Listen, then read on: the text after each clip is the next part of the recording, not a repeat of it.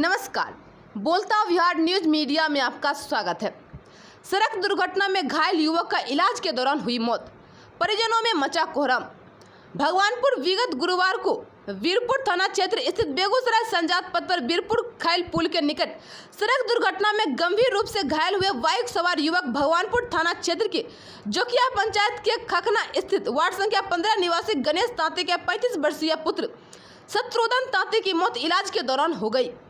मृतक का सब गाँव पहुँचते ही परिजनों में कोहराम मच गया। वही गाँव में शोक की लहर दौड़ गई। परिजनों से प्राप्त जानकारी के अनुसार मृतक शत्रुघ्न तांती अपने घर से बाइक पर सवार होकर बेगूसराय दवा लाने के लिए जा रहे थे।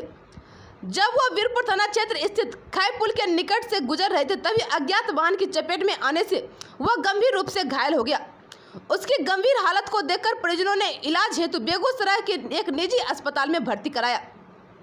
जहाँ इलाज के दौरान गुरुवार की रात्रि शत्रुघ्न तांते की मौत हो गई। उक्त घटना के मनमाहत मृतक की माता कौशल्या देवी, पिता गणेश तांती, पत्नी प्रियंका कुमारी समेत परिजनों का रो रो कर बुरा हाल है।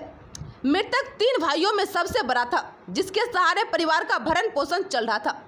मृतक के दो पुत्र हैं, जिसमें बड़ा आठ वर्षीय आदर्श कुमार तथा चार वर्षीय आर्यन कुमार शामिल है।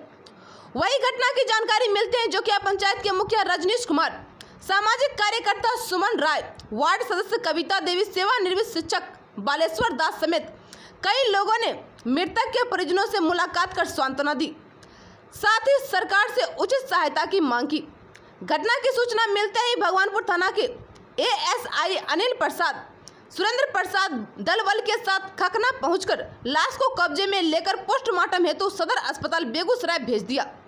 भगवानपुर से विजय भारती की रिपोर्ट।